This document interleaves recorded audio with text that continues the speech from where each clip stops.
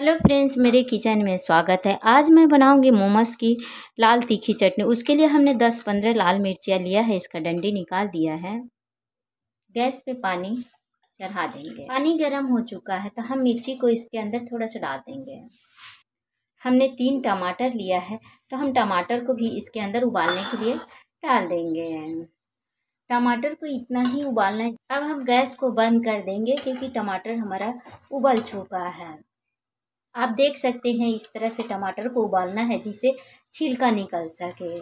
तो हमारा छिलका निकलने लायक इस तरह से उबल चुका है तो अब हम गैस बंद कर देंगे।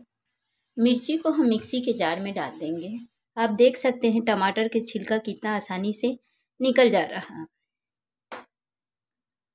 इस तरह से छिलका को निकाल के हम मिक्सी के जार में पेस्ट बना लेंगे।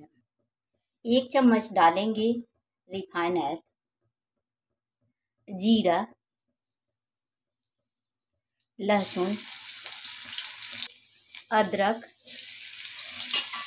इसे ज़्यादा फ्राई नहीं करेंगे। कच्चा पर दूर करने तक फ्राई करना है। टमाटर का जो हमने पेस्ट बना के रख दिया है तो इसको हम इसमें पकने के लिए डाल देंगे मीडियम फ्लेम करके। थोड़ा सा हमने दरदरा पीसा था, ज़्यादा पेस्ट नहीं बनाया था। स्वाद अनुसार नमक, एक चम्मच शक्कर बैलेंस बनाने के लिए शक्कर डाले हैं। एक चम्मच डालेंगे सोया सॉस, विनेगर। आप चाहे तो नींबू का रस डाल सकते हैं।